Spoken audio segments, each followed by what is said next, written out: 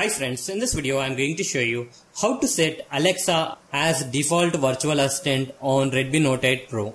By default, when you press and hold on the home button, Google Assistant will open up. Here you can see that.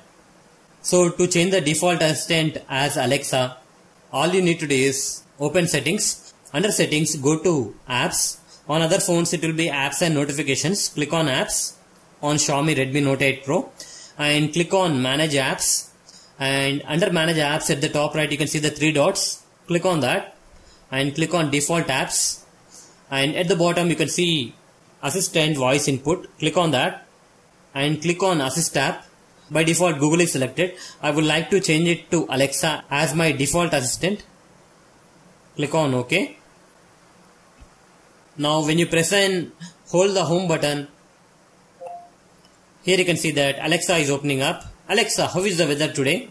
Currently, in Hyderabad, Telangana, it's 28 degrees Celsius with partly sunny skies. Today, you can... That's it guys. In this way, you can set Alexa as the default assistant on your Android phone. Hope you like this video. Please subscribe to our channel. Thank you.